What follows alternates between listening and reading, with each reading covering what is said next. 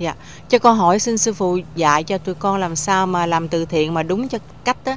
Tại vì con thường thường thí dụ mình làm từ thiện mình cho những cái hội đồng mỗi tháng mình cho nhiêu đó ờ, giống như là những hội đồng về tôn giáo. Hồi đó thì con cũng cho hoài mà con con không biết là có đúng hay không.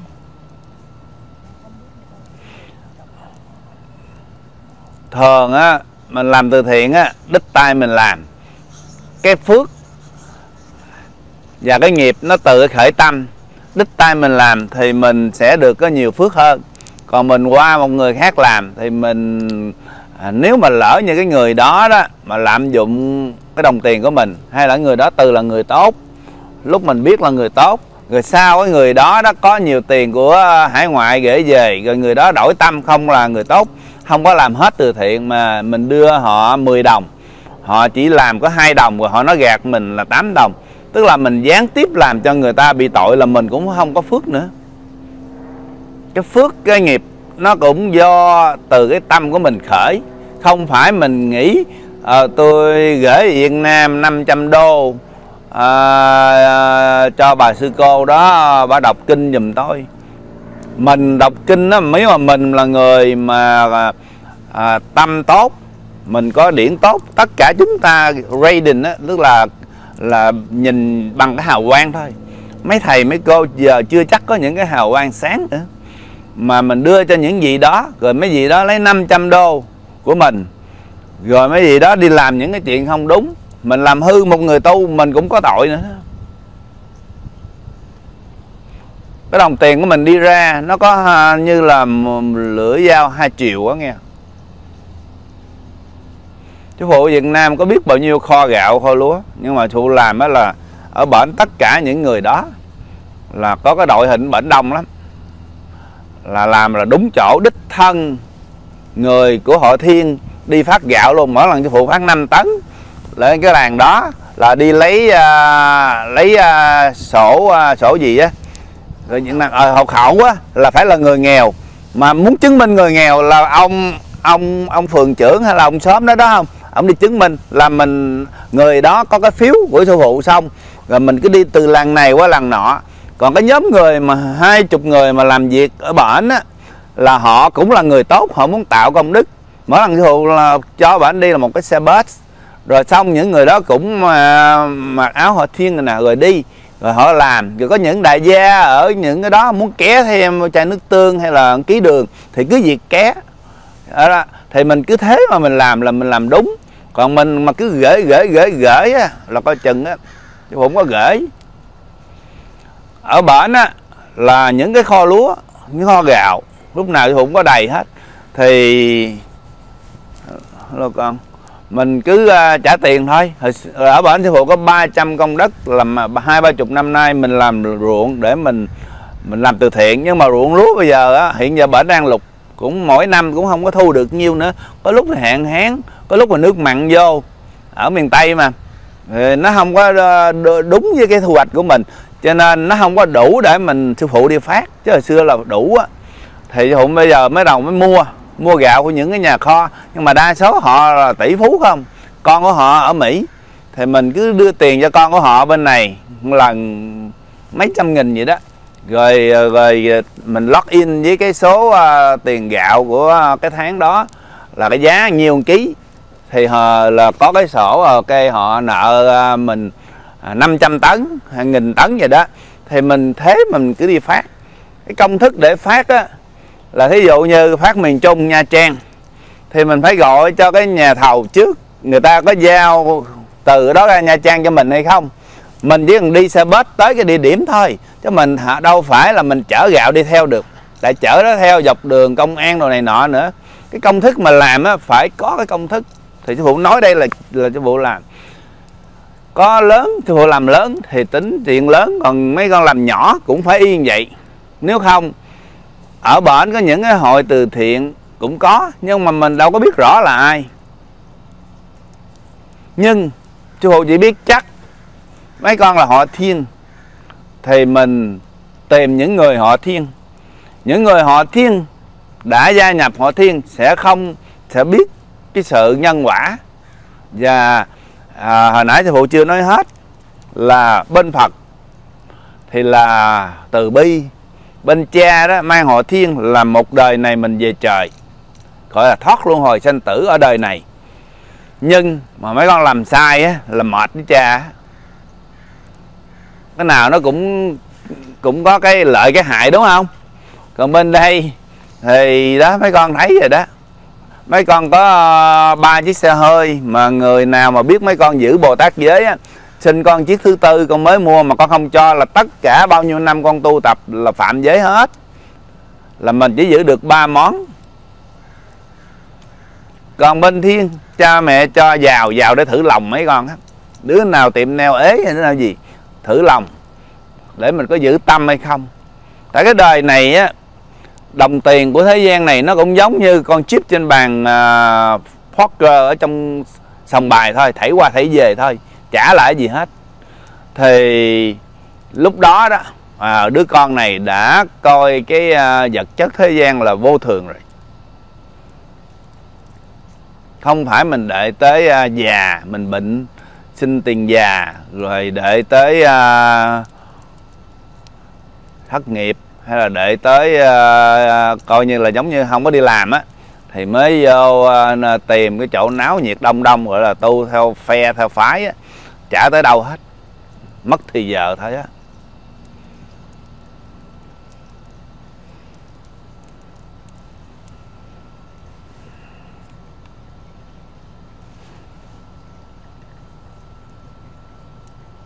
Chị bảy quay làm gì chị bảy? Chị gặp tôi mỗi ngày rồi hả? Ai? Nhật phương. Trời, con lo giữ con đi, nhật phương. Lo dẫn chồng đi à, ăn đồ cho nó vui. Đó là nhiệm vụ của hụ giao con á, làm cho thằng chồng nó happy. Mấy đệ tử ở thiên chồng con là hụ muốn đứa nào cũng à, hạnh phúc, vui vẻ. Mình có mình có vui mình mới à, đạt được những về phần tâm linh. Thế còn mình buồn buồn á rồi mình vô chùa rồi mình cứ ngồi thiền à, là 10 ngày nữa cho tâm trạng không có vui cũng chẳng đạt được gì. Giống như mình đói bụng mình đâu có nghe giảng pháp được ơi có thực mới giật được đạo là vậy theo sư phụ là vừa no vừa vui vừa được về trời à, vừa được mạnh khỏe à, khác à, thế từ từ đi mấy con sẽ chứng nghiệm. Mà tôi thấy nó đơn giản đâu cần mặc áo tràng đâu. Mặc đồ gì cũng được nào mặc cũng mặc gì đừng có quá quá ngầu thôi phải không? Còn mặc áo tràng mình thấy trịnh trọng quá cái sư phụ khớp không dám nói. Con đệ tử ngồi mặc áo tràng thấy khớp quá. Sư phụ mặc đồ tay nè giống đi làm bữa nào sư phụ mặc được quần chia nó là bữa đó trúng số mừng lắm tại vì từng bảy ngày cứ mặc này không? Bữa nào mà nghỉ mà mặc quần jean với áo thun, ngắn tay, ôi, mừng quá. Cho nên mỗi lần mà đi với sư mẫu nhà là toàn là quần jean với áo không à? Mặc cái này hoài, mỗi ngày riết ngán luôn á.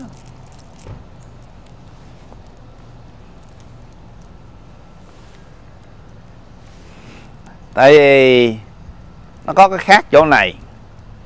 Áo chàng, màu xám, màu nâu áo vàng cũng là áo cà sa à, là đệ tử của Phật cũng như là lính rồi phải không? À, giống như trong quân đội vậy à, thì ăn nói hay làm cái gì đừng có để mà ờ, Phật thích ca mất mặt. Còn cái này mình người đời mình mặc áo này mình là bạn bè nhau nè. Thấy thấy mình với anh có đâu khác gì đâu đúng không? Anh còn mang giày đẹp hơn tôi nữa. Rồi giày tôi mang 3 năm rồi đó. À, mình sai mình nói chuyện trao đổi nhau để mà học về tâm linh kiến thức. Sai cứ việc lên tiếng cứ việc rồi mấy con cười vui nói chuyện thoải mái. Mình không có cần thiết phải mà nghiêm trang. Cứ nói nói ông thầy ông nói ờ, uh, gọi dưới là cứ im ru ngồi nghe thôi không có trả lời. Uh, không có uh, ông trời không có uh, ông trời là nhỏ ông phật đại khái nói gì là phật tử nghe thôi à còn này sư phụ nói sai, mấy con có quyền lên tiếng cãi lại nghe, hỏi lại. Cãi thì nha, không cãi được, nhưng mà có quyền lên tiếng. Sư phụ thề tất cả mỗi gì mà quay này lên cho thế giới coi á, không có cắt, không có xén. Có mấy à, mấy bữa kia sư phụ hơi à, nói quá hố là gì bị sốc, là vì mình bị đuổi từ cái núi thiên long sơn xuống đây.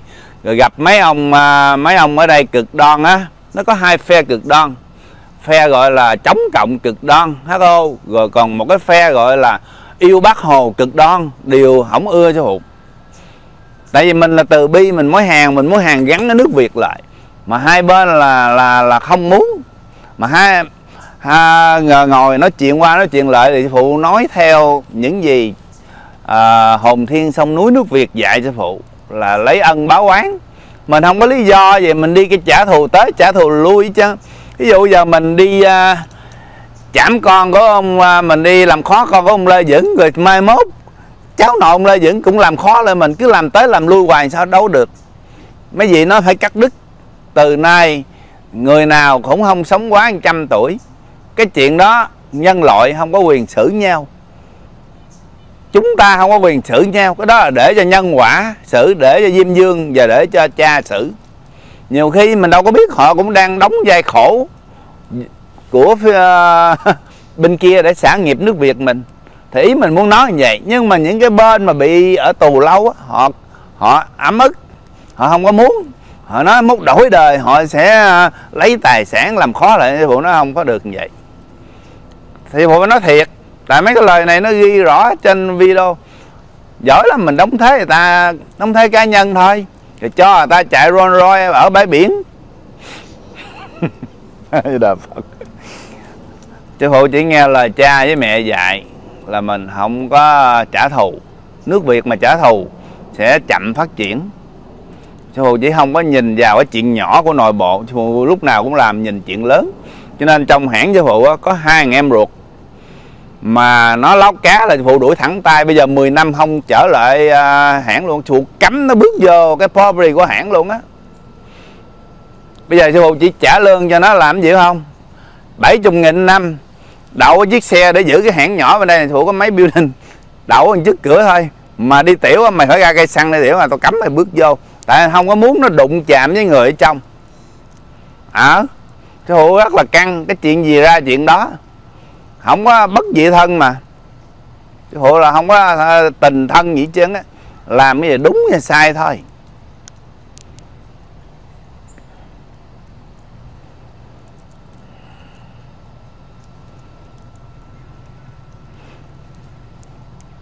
Nhận họ thiên là để giúp sư phụ tay để quản lý những cái tài sản của cha với mẹ để lại thế gian sư phụ lấy tiền của cha mẹ để mà mua đất, mua đai để nhận đám đứa con ở thiên để mà lo cho chúng sanh đời này qua đời nọ.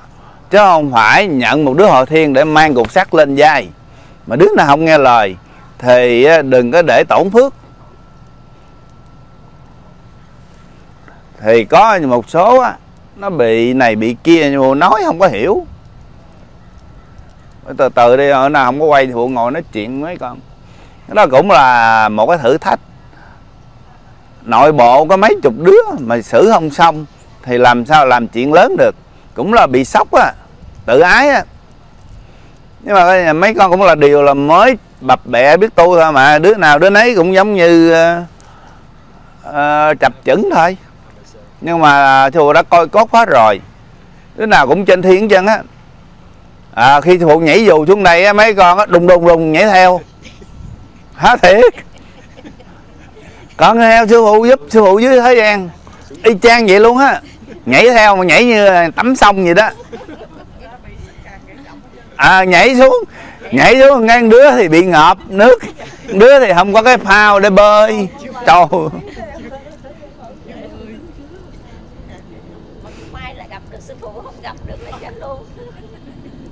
Cũng may đầu thai làm người Việt Nam. Rồi gặp còn lỡ như mấy con đầu thai làm người à, mễ thì sao gặp? Nó nó khác cái phong tục rồi. Khó lắm. Có. Thiệt mà. Chứ hồi nãy giờ nói đâu nói giỡn.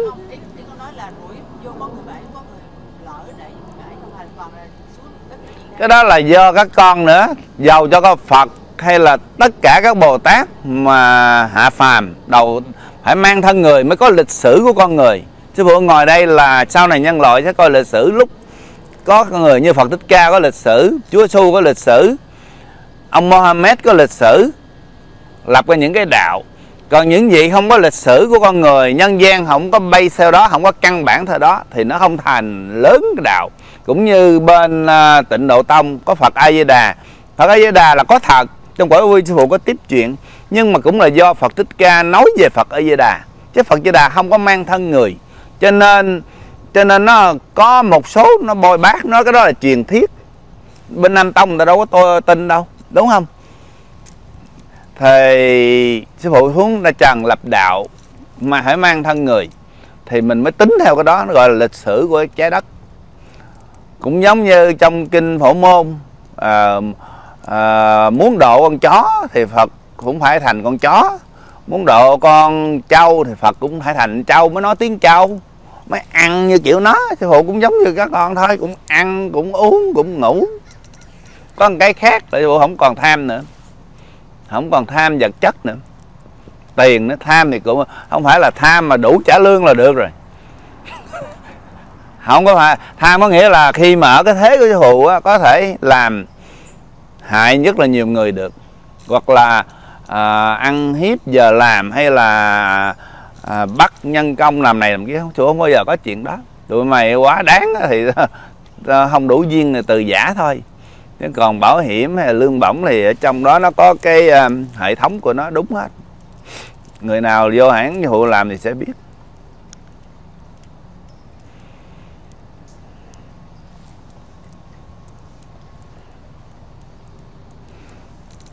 Anh đi lấy hộ cho nước anh đi?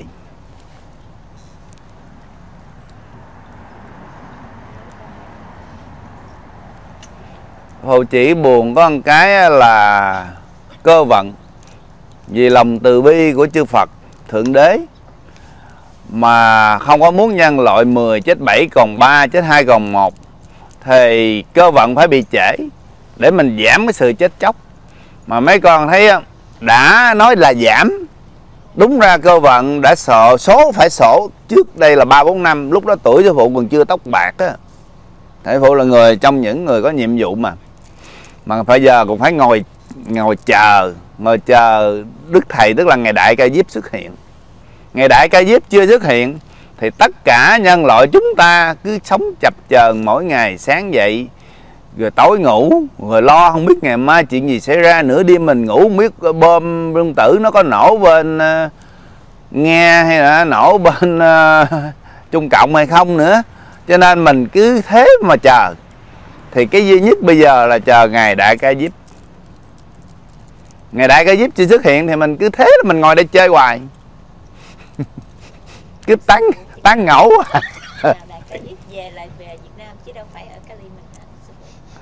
cái vụ không có rõ nhưng mà cách đây uh, hai tuần ngày đại ca diếp tức là đức thầy á là ngài có nói sư phụ tại vì mỗi lần sư phụ cứ là nhẹo nhẹo vụ này chừng nào con về thì sư phụ nói là gần với kề. Mấy gì tiên với phật không bao giờ cho mình chính xác cái ngày giờ đâu ạ. À.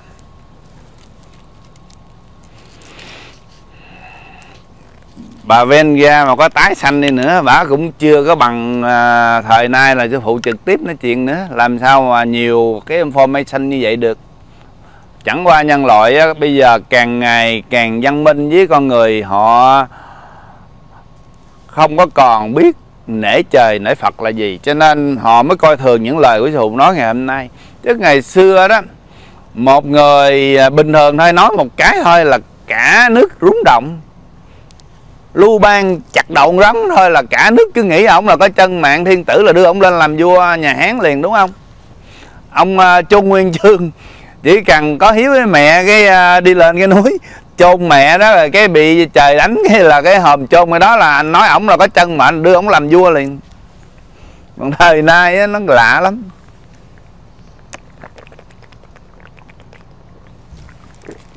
Đó là cái lòng người không còn tin về tâm linh.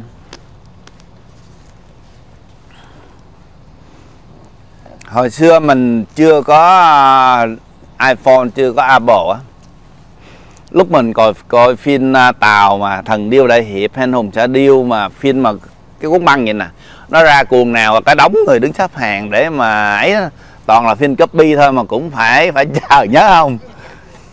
Đâu có ai tưởng tượng nổi sẽ có một ngày có cái điện thoại, một người mẹ mà bên nước Việt Nam nuôi hai đứa con du học bên Mỹ mà bằng cái điện thoại. Mỗi ngày phải FaceTime nó dạy nó nấu ăn ê con bỏ ờ, tiêu uh, ít quá ê con bỏ ớt ít quá. Cái là là là là, là dạy con á là ở Mỹ này nè có kiệt biết mới kể. Đó. rồi á, bữa nào FaceTime mà con mà tắt điện thoại là ở bển là với quạo rồi. Một là làm chuyện bậy hay đi đâu chơi đúng không? Nuôi con bằng cái iPhone FaceTime thời xưa mình có tưởng tượng ra cái chuyện đó rồi. Nó cũng như thần thông rồi mà thần thông này của ma quỷ. Bởi vì hòa thượng tiên hóa nói á, là ai mà dính tức là sư phụ của cái xác phàm á là hòa thượng tiên hóa vạn bạc thành đó là à, mà ai mà dính cái điện thoại với cái laptop nhiều á là là gì vậy đó? Loạn tâm rối tâm là ma quỷ nó xuống nó phá thế gian vậy cũng giống như mình đi vô Las Vegas mình mấy người mà bỏ tiền mà kêu lon lon lon con á là âm thanh với màu sắc còn con của Phật á thì con của cha á, thượng đế thì thích ngồi yên tĩnh gốc cây rồi nghe nói chuyện vậy phải không? Còn mà con của quỷ là là vừa lãnh tiền cái cái cái check của ờ, Biden cái là ngày mai là đổi liền đi vô kéo máy.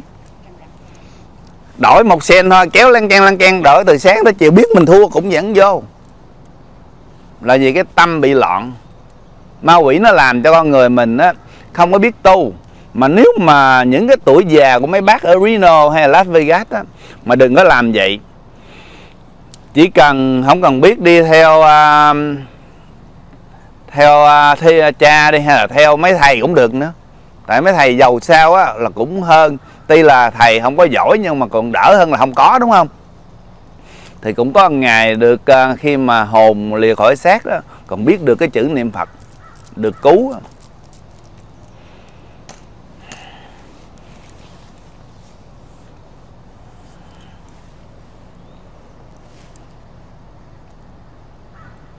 nói chuyện uh, mệt nghĩ mệt chút.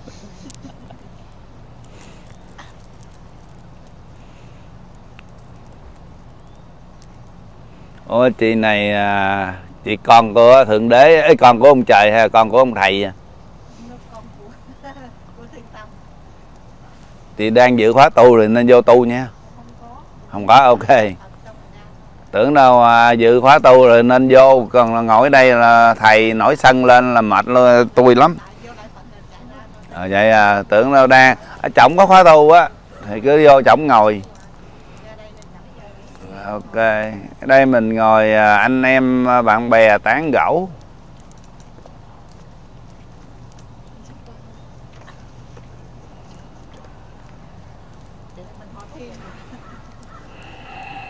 Thiên là con ông trời. Còn họ diệu, họ gì là con của ông thầy. Con của ông thầy khó tánh hơn con của ông trời. Con của ông trời thoải mái lắm. Ăn mặc áo thun quần cục đâu cũng được.